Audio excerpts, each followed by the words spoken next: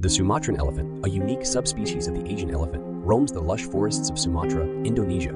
With around 2,800 individuals remaining, it is critically endangered due to habitat loss and human-elephant conflict. Known for its smaller size and distinctively straight tusks, this majestic creature plays a vital role in maintaining the health of its ecosystem by dispersing seeds and creating trails.